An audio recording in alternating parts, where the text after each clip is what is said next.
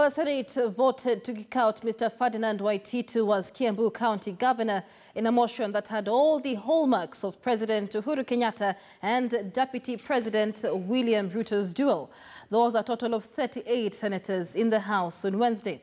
Some 28 senators, most of them from the opposition coalition NASA, convinced, convicted the governor on all the three counts levelled against him by the county assembly and voted to remove him from office.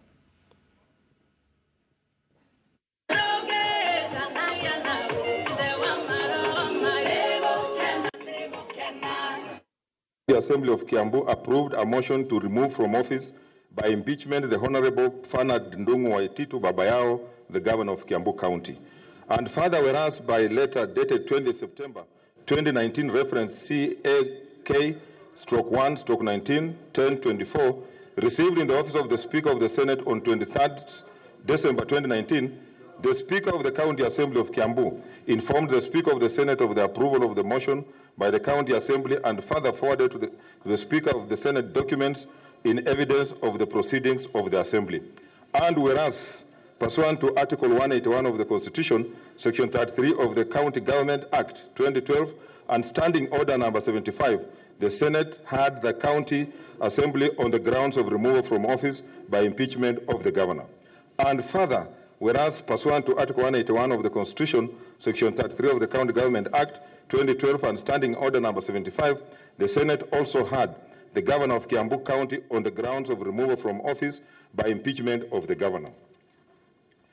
Now, therefore, pursuant to Article 181 of the Constitution, Section 33 of County Government Act 2012 and Standing Order Number 75, the Senate resolves to remove from office by impeachment the Honorable Ferdinand Ndung'u Waititu Babayao, the Governor of Kiambu County, on the following charges, namely, one, gross violation of the Constitution of Kenya 2010, the County Government Act 2012 and Public Finance Management Act 2012 and the Public Procurement and Disposal Act 205.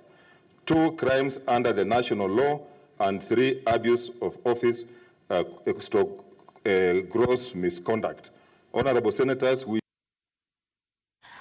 Stick to that story now and take you live to Kiambu County, where James Nyoro, the Deputy Governor, will soon be the new Kiambu Governor after the swearing-in ceremony. Our reporter Mark Namaswa is in Kiambu for us for the very latest. Mark, good afternoon. James Nyoro is set to become the third Governor of Kiambu County at some point in the day. Talk to us about the situation on the ground uh, in the wake of various uh, reactions, some saying this is not anchored in the law.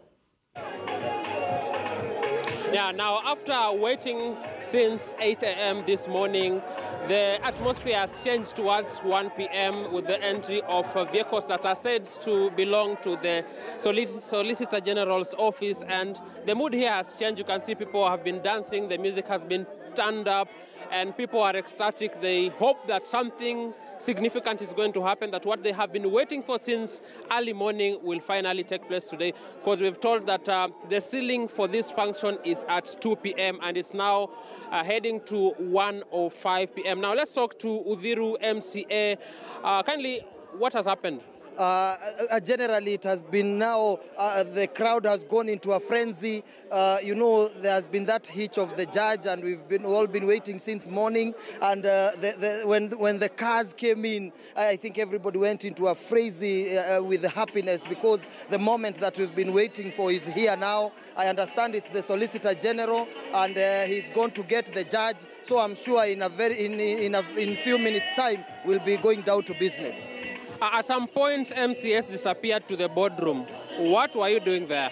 No, we were just getting a brief of what is happening, and uh, that is when we learned that uh, there was a delay because the judge who was supposed to preside the event had not been uh, put in the Kenya Gazette. And I think that is what they were taking care of, and I think now we are good to go. Now, if, if you've gone online, there is a debate between uh, Senators uh, Mutula Kilonzo Jr. and uh, Murkomen uh, about uh, the number of days that have to pass after impeachment and when you go to the swearing in. I, I don't know if you have looked at that. Well, I have not noted that. Uh, I, I, understand it should be within. Should it be within 14 days or after 14 after 10 days? Yeah, but I think we are still in the limit. We don't want to waste any time. I think we have suffered as the people of Kiambu and we want to start afresh today. We don't want to wait any longer and I'm sure the people of Kiambu also don't want to wait a minute longer. We want to finish this business, be done with and start do, giving service delivery to the people of Kiambu. Security has been very tight at the gate. I don't know whom you have been trying to lock out. Is it uh, Waititu supporters? And what are the numbers of MCS that are inside this uh, compound at the moment? Well, uh, the number of MCAs, as you can see, they are the ones who are singing here. There are almost 70 MCAs around, and, are, and, I, and I understand the security has to be tight. You understand now we are dealing with an incoming governor.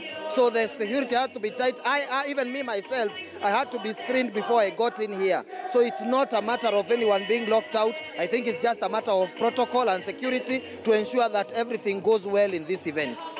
How did numbers used to play out in the county assembly? Those for Waititu and those for Nyoro? Well, uh, I think Waititu's side had around 20, around 25 MCAs, uh, but our side we were way over 65. Actually, the voting was 63, but there are some two members who are not around. So I think the numbers were we were we were way past the threshold of three quarters or of two thirds, and uh, Waititu was left with merely a small quarter to uh, a small third uh, to, to to enjoy. Now, is this dancing a sure sign that we will have the ceremony or it's just a preamble? Well, well, it's a preamble, but uh, by seeing the way things are moving now and after the brief, we are sure that the ceremony is there. We, are, we acknowledge that the, we are almost uh, short of time. We are only 50 minutes to go, but we are sure now that things are going to move on. Thank you for your time. Thank you. Thank you.